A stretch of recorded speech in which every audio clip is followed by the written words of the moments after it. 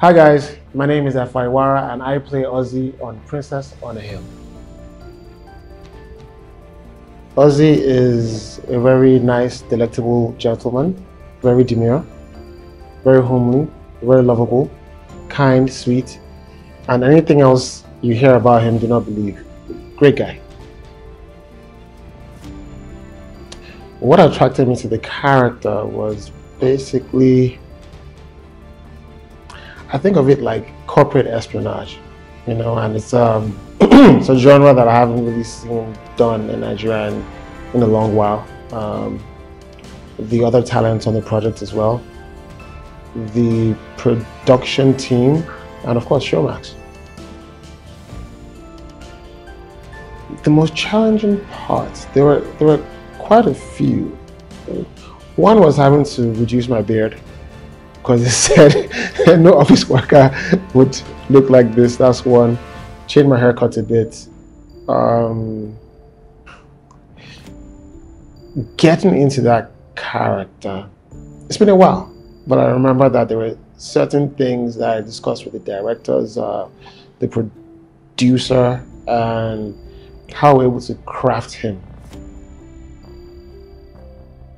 Relatable themes. I think for me, the most important thing is the grass to grace uh, thing for the central character, the princess, in quote, because everyone wants to go from one to a hundred. You know, that's like everyone's dream to succeed in life, and when you get that kind of opportunity, it's always a blessing.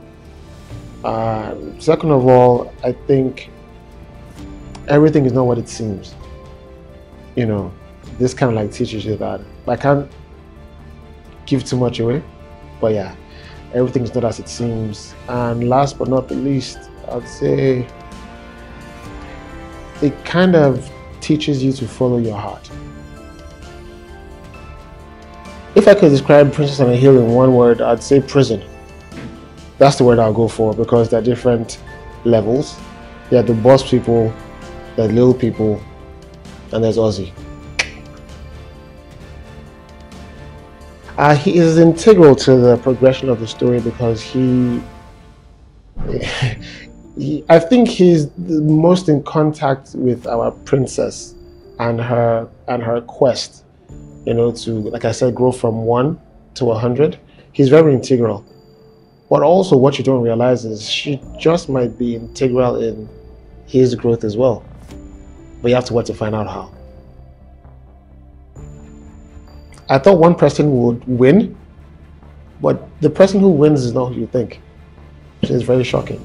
So I won't call it a love triangle, I'll call it a, a triangle of trust and mistrust. One thing that really stood out for me was uh, probably have to be exceptional acting performances, a great story, and also like just showing African excellence. I don't know, you just, I mean, it's not the first time. Uh, you have to know what's, what you can do, what you can't do. It's very professional. People feel like internet scenes are fun, yay, but it's work. I really want people to watch the show around Africa. I really want people to be as excited as we are. And I hope people appreciate the hard work that went into this project. Princess on the Hill is now streaming only on Showmax.